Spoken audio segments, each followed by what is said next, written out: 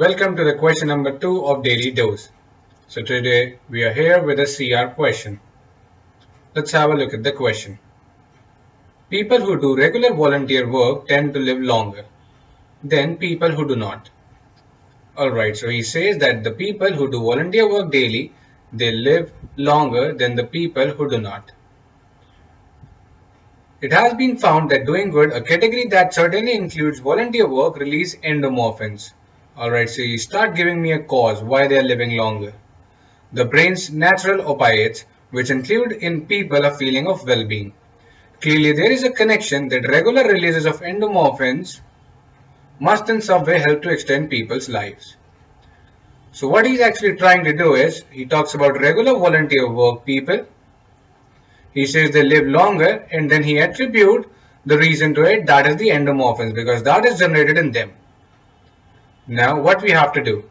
Of the following if true most seriously undermine the force of the evidence for this particular conclusion that endomorphins are responsible for the longer life.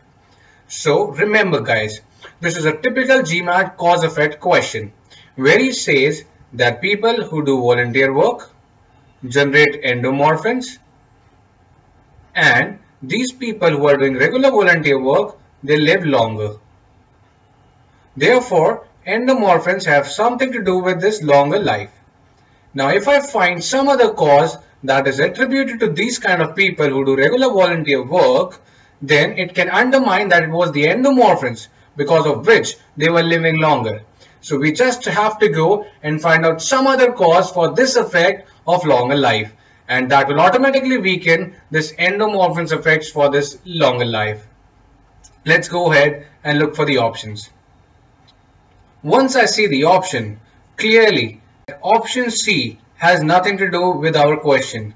He says there are many people who have done some volunteer work but who do not do such work regularly.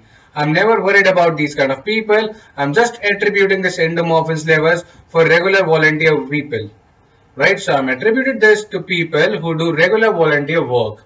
Now, if you're not doing work regularly, then how does this endomorphins can be related to this, right? So I want this endomorphins levels in this people who do regular volunteer work. So you can cut down option C directly. You can also cut down option E, which talks about the long distance runners. I'm just responsible for the endomorphins and that kind of endomorphins levels which are generated in regular volunteer work people. Now, I'm left with option A, B and D. People who do regular volunteer work are only somewhat more likely than others to characterize the work they do for as doing good. So that means they are only able to know that they have just done a little bit of good work than that, other people. But still, that would generate those endomorphins levels if they are thinking. So again, it does not help me to weaken or support that endomorphins are the one which are helping in the longer life. I need to know the cause for this longer life in this regular volunteer work people. So you can cut down option A as well. Option D is a very beautiful option. People tend not to become involved in regular volunteer work unless they are healthy and energetic to begin with. So now what I've found is that there is one thing that is healthy and energetic people. So if the people are healthy and energetic, then only they tend to get involved in this regular volunteer work. So if they are healthy and energetic, then they go for this work. That means it was not the endomorphins. It was their cause or it was their initial health and energetic levels which helped them to go ahead and participate in this regular volunteer work.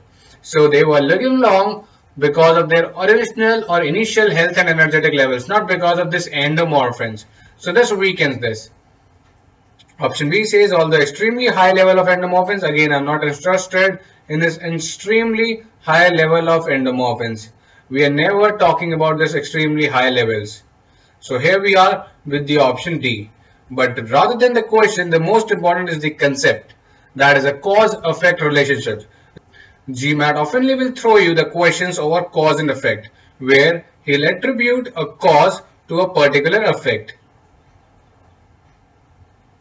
and how you weaken it by finding out some other cause for this specific effect and how you strengthen it by saying that there cannot be any other cause which can lead to this effect. So be aware of this cause and effect question. Hope you are enjoying the series and stay tuned for further upcoming questions. You'll find the question number 3 tomorrow. Have a good day.